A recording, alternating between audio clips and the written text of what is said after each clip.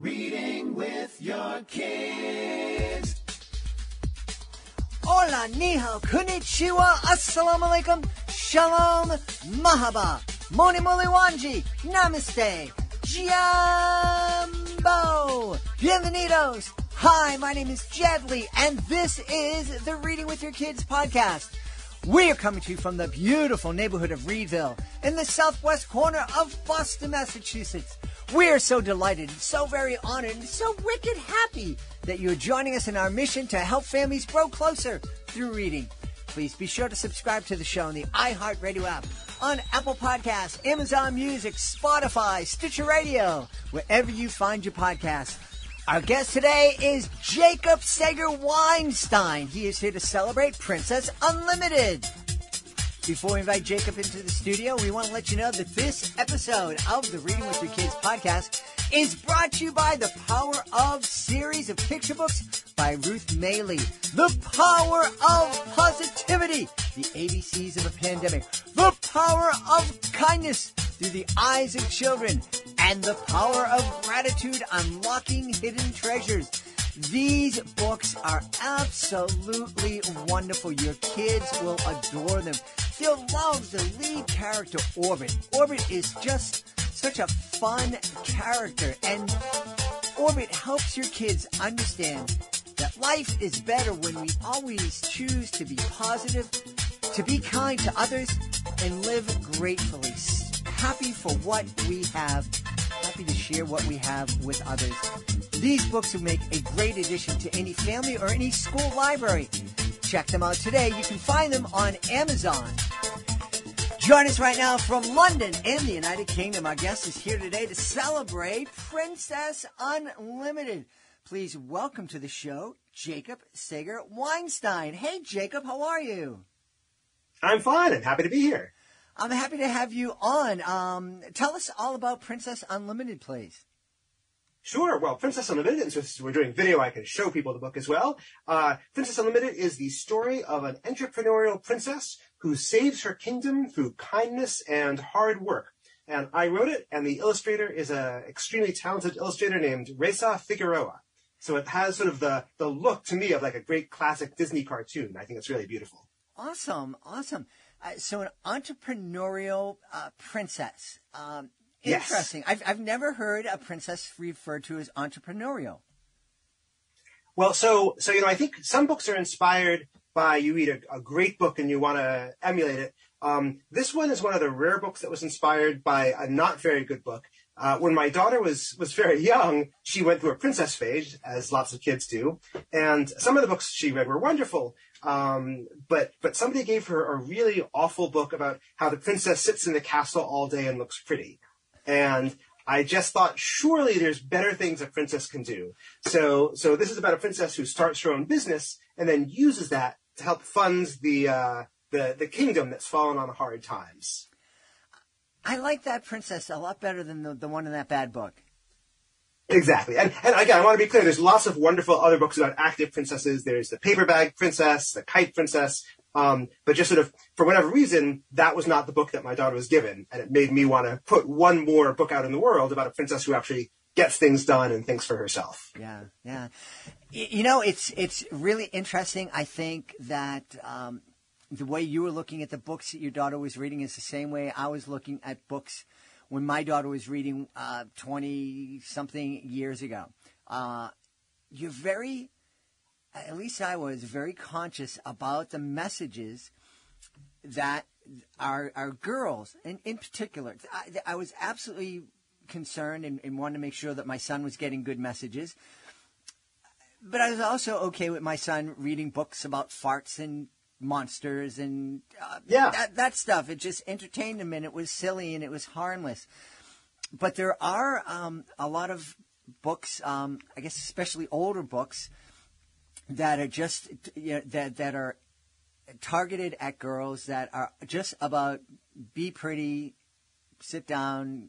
Girls are made of sugar and spice and everything nice, and um, we don't expect you to do anything more. Yeah, I think you raise a good point about the older books because I do think over the past 15 years, there's been a real movement away from that. But because so often the books that we give children are the books we gave, we read ourselves. Um, and if you, if you're a grandparent, then the books you read as a child are from an even earlier age. And there's wonderful books that deserve to be read decade after decade. But along with that, I think we do sometimes accidentally perpetuate ideas that maybe in mainstream society have mercifully faded away, but that still live on sometimes in the books we give our kids, especially if we don't really read them ourselves and compare them to what we remember from childhood, which may or may not be fair. Yeah.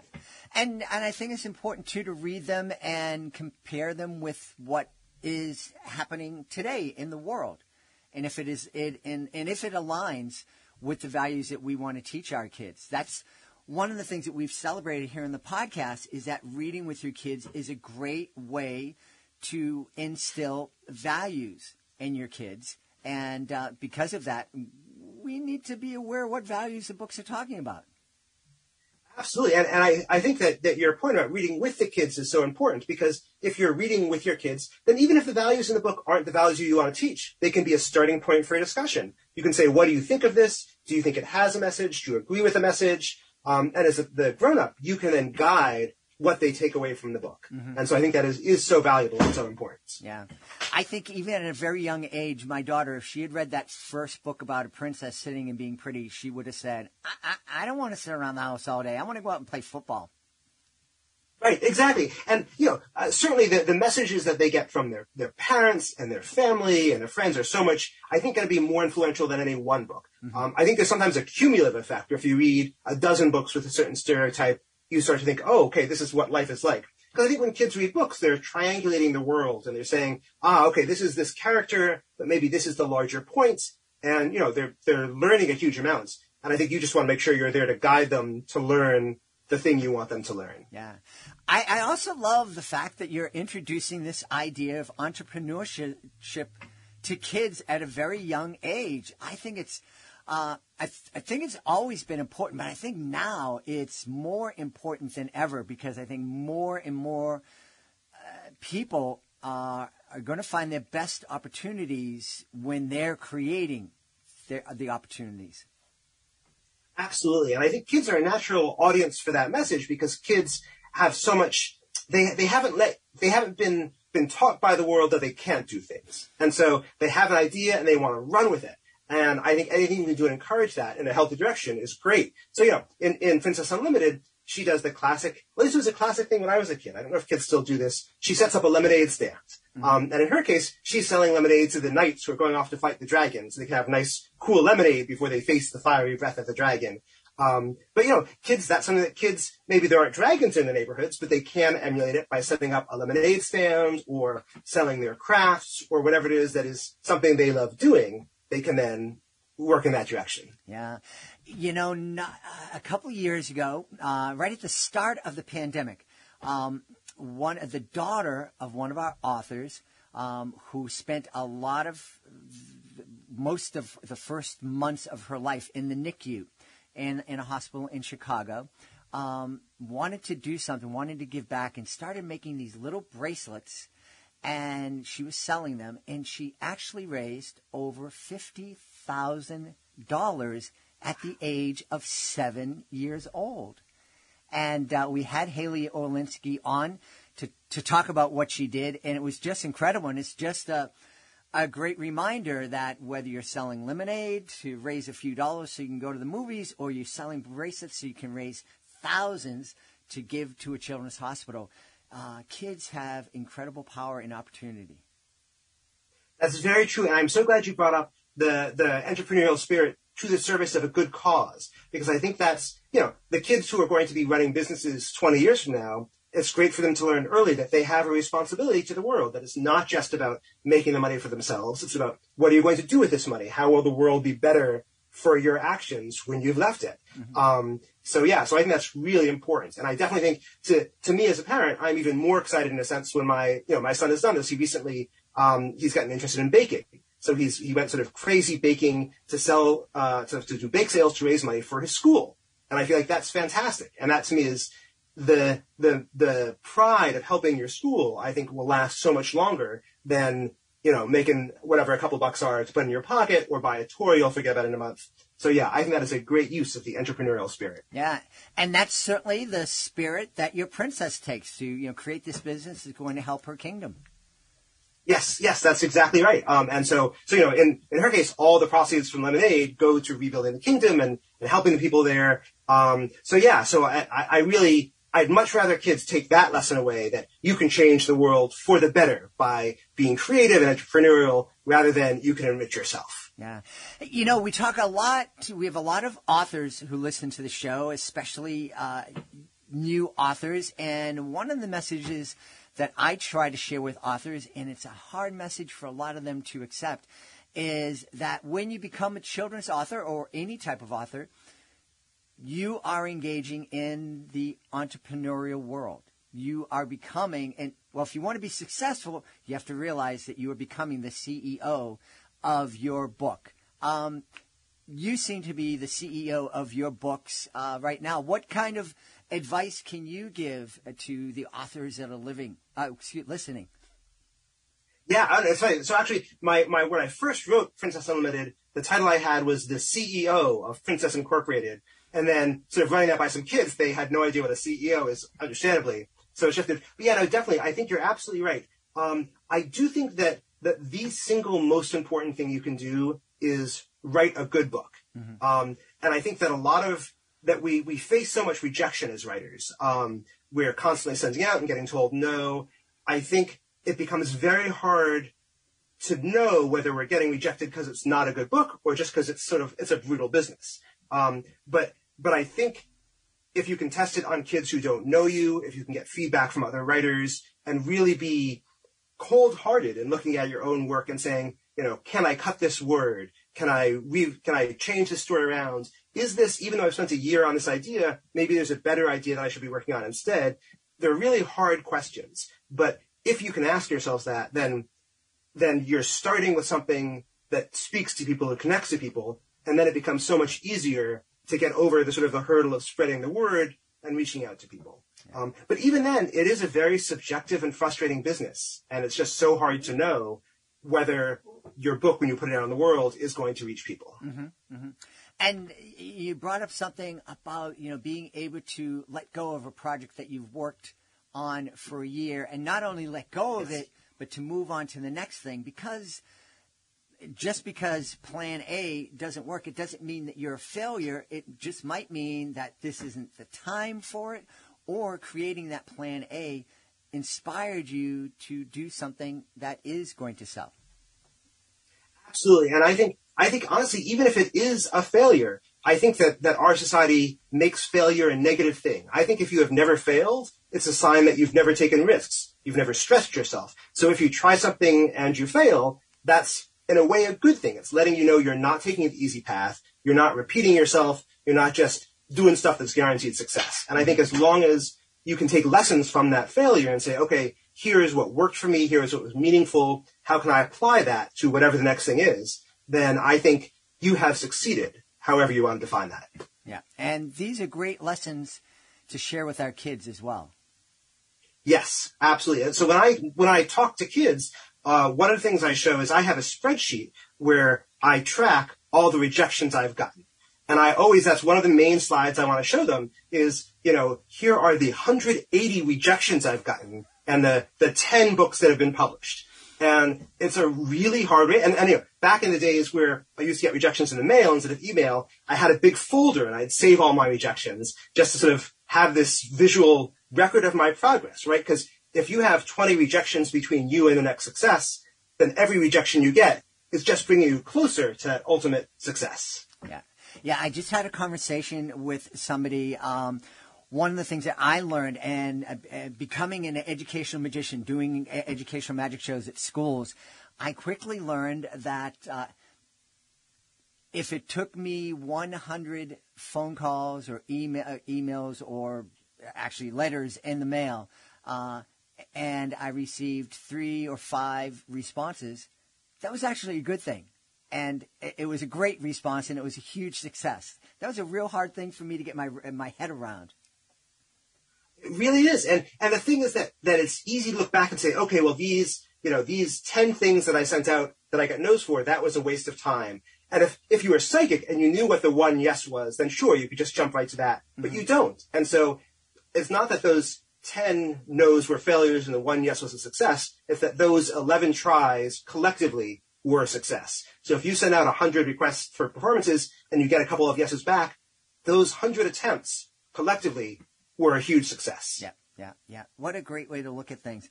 Hey, one of the thing, one of the books that really caught my attention on your website was uh, one titled "How to Remember Everything." As I'm Yes. as I'm closing in on age 100, I think I need to learn uh, how to remember anything.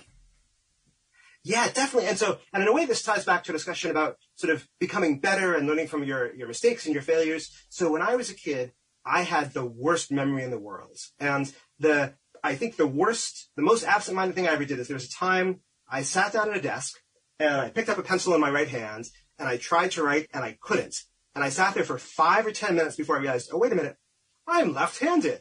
And then I put it in my left hand and I was like, this is how absent-minded, I forgot which hand I write with. And then I was fine.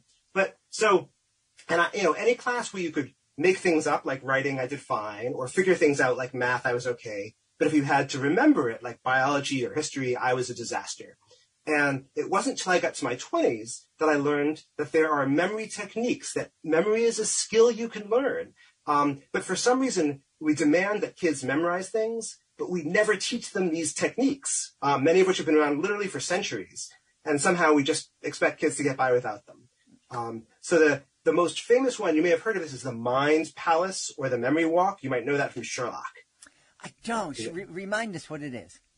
Okay, so um, so uh, and I say that's famous. It's only if you've seen the uh, the Benedict Cumberbatch Sherlock Holmes series. He's always talking about his mind palace. So basically, a lot of memory techniques. The way they work is you take something that's hard to remember, like a shopping list, and you transform it into something that's easy to remember, like the path around your own home. So if you were trying to remember your shopping list, um, you might picture like you're, you wake up in your own bed, and then you picture if eggs are the first things you need to buy, you picture eggs on your pillow making a big mess when you lay down. And that's a very weird thing. And now milk is the next thing. So you picture you reach out to your alarm clock and you knock over a jug of milk and it spills on your carpet. And you mentally go through your house, place by place, in sort of the order you would do it on an ordinary morning, putting these crazy images at each location. And because they're so vivid, you remember them. And because they're attached to something that you know by heart, which is your house, you can easily retrieve them. Um, and so some people have multiple mind palaces to remember different things. They might have one they reuse for a different shopping lists. They might have one where they've stored the presidents of the United States. Uh, and it's, it's sort of a, a weird thing it's based on these crazy images. But exactly because it is so crazy, it helps the thing stick out. Wow, that's that's really cool. Now, does it ever happen that you you know the the, the, the kind of list that you create for the for your shopping extension excursion on Monday of one week uh, gets transposed, and that's what you remember three weeks later when you need something completely different? So there's a, a phenomenon called interference, which is where two memories interfere. Uh, and sometimes if you if you're trying to remember a word and you remember the wrong word first, and then no matter what, you can only remember that wrong word, and you can't. And it's interfering with the right word. So that can happen. Memories can interfere. Some people, if they have a reusable mind palace, will clear it. So they might imagine just waking up in bed on an ordinary day with no eggs and just blank throughout, and then that clears it for them. For me, the benefit of being so absent-minded is that it naturally fades over time. and I just do it anew. But for things like, but there are certain things that I, I have a mind palace that I reuse, um, which is like walking through my old high school. Um, but then I have other mind palaces, like the first presidents of the United States, I have stored in my brother-in-law's house, just because it happens to be, he lives in Washington D.C., that's where the presidents are from, why not? Um, but so I think I, because I, I use that for a specific standing one, then if I started putting groceries in it, I'd get confused. I'd be like, am I supposed to buy George Washington? No, no. But, but for me, it, it does usually work out. Hey, you know, you mentioned to me early before we started recording that you grew up in the States, but now you've been living in the United Kingdom for the last 20 years or so. I, I think a lot of people feel a lot of, a lot of people in the States feel a lot of kinship eh, with, with folks in, in the UK. But what's the biggest difference between the two cultures that, that you experienced or that surprised you was different? Oh well, so so especially moving from Los Angeles, which is where I was living before I came here. LA is a place of hyperbole, where everything is the greatest thing ever, and it's amazing. And you've got to do this. And then in, in the UK, especially in England, understatement is much more valued. So um, I I sometimes so when I first moved here, for example, I I used to do TV and film, and when I moved here, I was talking with somebody who was producing a TV show, and she said, "Oh, you know, the the director is sort of difficult to work with." But maybe you'll find it amusing how weird she is, and it's okay. I was like, wow, I don't want this job. And then later on, I learned it was like this incredibly prestigious, award-winning director. But she had to, if she said that, she'd seem like she was bragging. Hmm. So she was like being very understated. And in my used to LA way, I totally missed the subtext. And I think now I'm here long enough that if somebody started really insulting something, I'd be like, wow, they must be really proud of it. But Interesting. That's really interesting. Now, does that when you're when you're writing, do you have to keep that in mind if you're writing for a, a, a book that you are hoping is going to break in the U.S. market, or as opposed to something you're hoping is going to break in the U.K.? it's interesting when I first started uh, sending my my first kids book, uh, which is uh, Hyacinth and Secrets Beneath, which is set in London actually. When I started sending that out to agents, I sent that out to American agents and UK agents, and also some picture books to agents from both countries. And I kept getting more interest from the American agents, and finally, a British agent explicitly told me, "Your sensibilities are much more American than they are British. Just focus on America." Uh, and indeed, especially with picture books, I think if you gave me one book from America and one book from the UK, I could tell you which was which, um, even if you like, you know, fix the spelling so they were the same.